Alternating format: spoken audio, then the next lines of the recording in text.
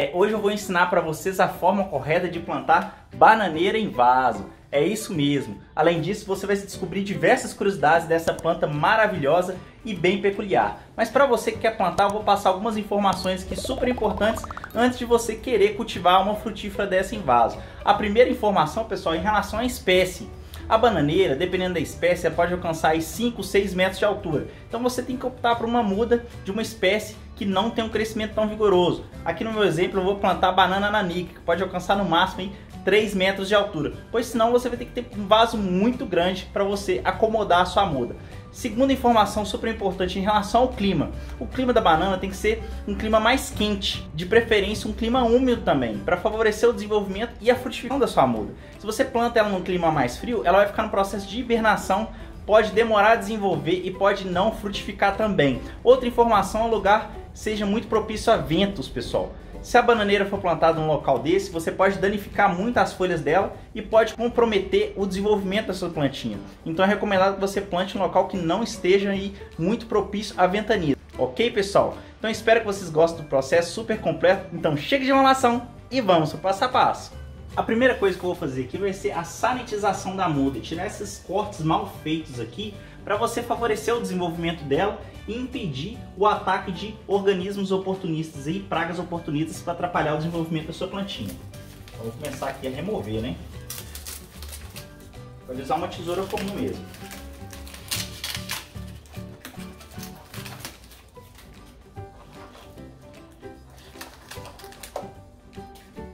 etapa super importante que é a preparação do substrato que a gente vai utilizar, a terra que a gente vai utilizar.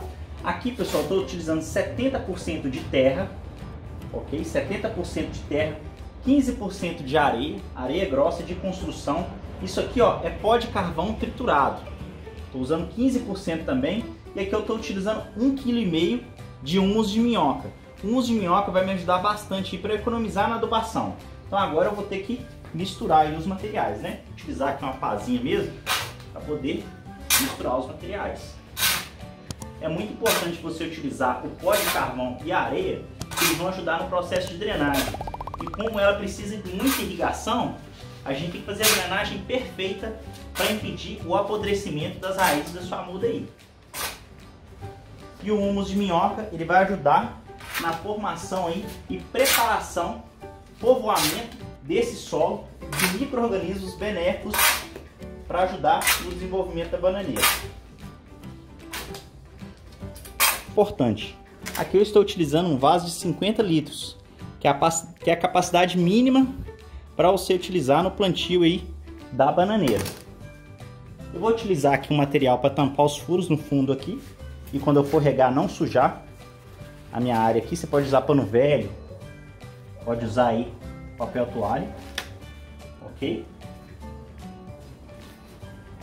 Para ajudar na drenagem, eu vou utilizar argila expandida Pode ser brita, caco de telha, caco de tijolo, tá?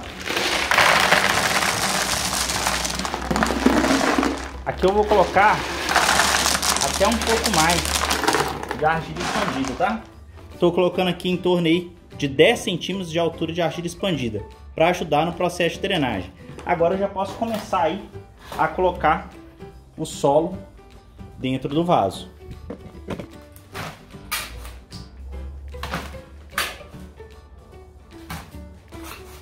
Que nós vamos fazer agora? Nós vamos preparar agora um berço para a muda.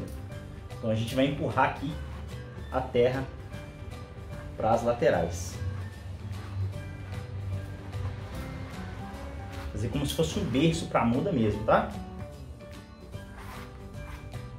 Vai ficar dessa forma assim. Então aqui agora eu vou fazer o transplante.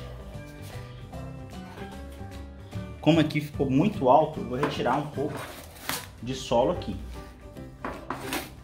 Pois tem uma dica da borda do vaso que você tem que respeitar, pois vai ajudar muito no processo de irrigação da sua muda aí.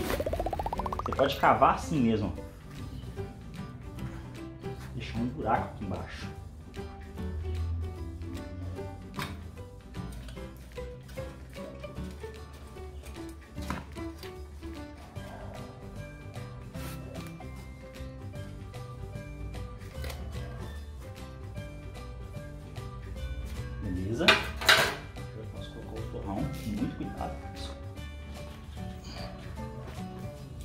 Essa altura aqui é a altura ideal que vai ficar torrão em relação à borda. Então agora eu já posso completar o vaso com terra.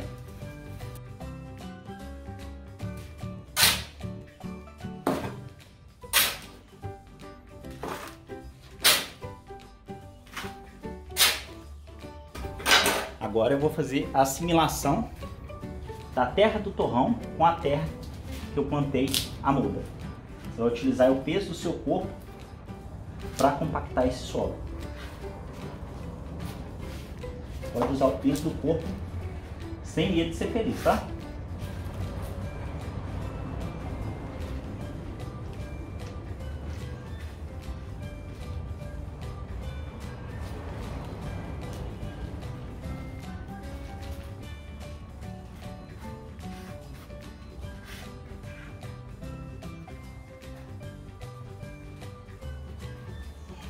Para que eu possa economizar aí na irrigação, eu vou utilizar aí material de cobertura. Aqui eu estou utilizando argila expandida, mas você pode usar caco de telha, você pode usar matéria morta. O importante é que vai manter a umidade do solo por mais tempo. Como eu falei para vocês, ela precisa de muita água. E agora eu vou fazer irrigação. Então aqui agora eu vou irrigar de forma bem generosa para assimilar a terra que eu acabei de utilizar a terra do torrão. Essa é a rega mais importante, ok? Você pode regar de forma bem generosa mesmo.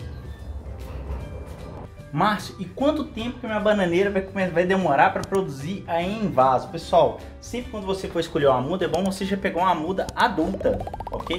Para ela reduzir esse tempo aí de frutificação. Essa muda aqui deve ter em torno aí de uns 6 meses de idade, 7 meses de idade, ok? ela vai dar em torno aí de 40 folhas.